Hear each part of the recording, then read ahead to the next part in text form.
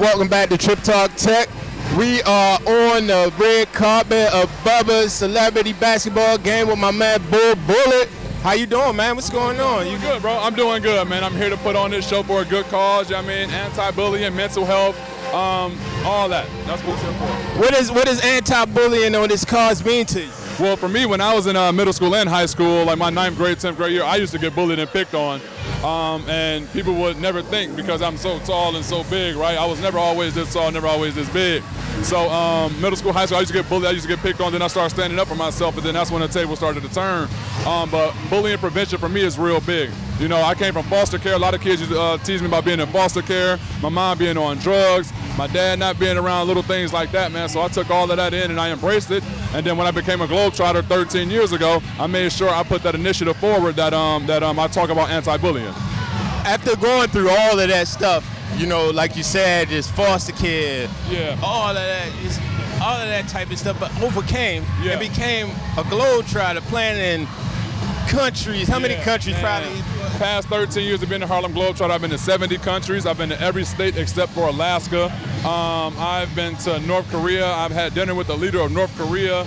I've been, uh, um, I've met a pope. I've, I've done a lot of things, man. I hold three Guinness World Records right now, but I use all that as motivation to tell the kids that anything is possible with any situation that you're in, you know? Because like I was saying, I came from foster care.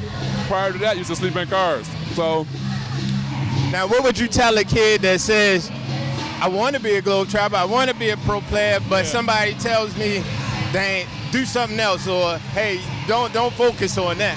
I tell them get uncomfortable and do what you want to do in life. But if you want to accomplish any task in life, you got to get uncomfortable 100%. My Bull Body Project, one of my companies that I run and I own right now, is slogan is get uncomfortable. Take care of yourself.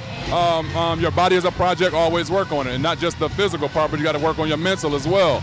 So for me, I always tell people get uncomfortable. Every That's dope. Every, every morning I wake up, I look in the mirror, I make sure I tell myself get uncomfortable because it's something I want to do today that I, I need energy for. Me telling myself to get uncomfortable and stay calm, I, I, I go ahead and I tackle that task. My man, my man. Hey, look, the most rewarding. Um, as far as being a globetrotter, I want to say the most rewarding part is doing things like this, man. Like going out and giving back to the community.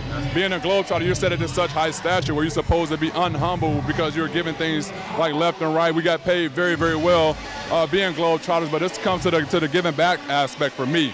Along with my teammates, they, they're not just hiring anybody to be Harlem Globetrotters. You got to have good. You got to be a good role model. You got to have good characteristics, um, and, and you just got to be about the brand. The Harlem Globetrotter brand is always about that giving back aspect. Like me with my Bull Project, I do. I try to do a free camp or a free clinic every year. Now with my Will Bullard basketball, I'm trying to do something with that up in the Northern California area. Um, I got uh, what else? I, I do a lot of things right now. I'm a corrective exercise specialist, a certified personal trainer. Um, I do a lot, and majority of my things is I can make so much money off of all these things that I'm doing, right? But I undercharge myself is because I got to give back to the community. I ran into two kids in the past who didn't have any money at all. They said, "Yo, I want to train with you." I said, "Come on, I know your situation. Let's do it." Now these kids are thriving. Why? Because all I did was build that confidence in them, gave them a little bit of motivation. I gave them that stuff for free. That's love. That's love. You got to pay it forward, man. You got to pay it forward. If you don't, I mean, why are you here? Hey, that's real. That's real. Now look, we ask all our guests this before they get off of our show. Favorite kicks of all time. Favorite kicks of all times? Man, Wolf Gray Fives. Gotta love it. Gotta love it. Great game. We had Wolf Gray Fives. And I'm going to tell you why, because before I knew what the Wolf Gray Fives was, I had a pair, and I messed around and sold them joints for $100.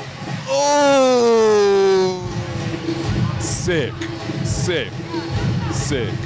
Hey, but he got the money to do that. So, hey man, you go out there and rip it up today, man. I appreciate it, brother. you, man. Yes, sir. Yes, Trip sir. Talk Tech. TrippTalk Tech.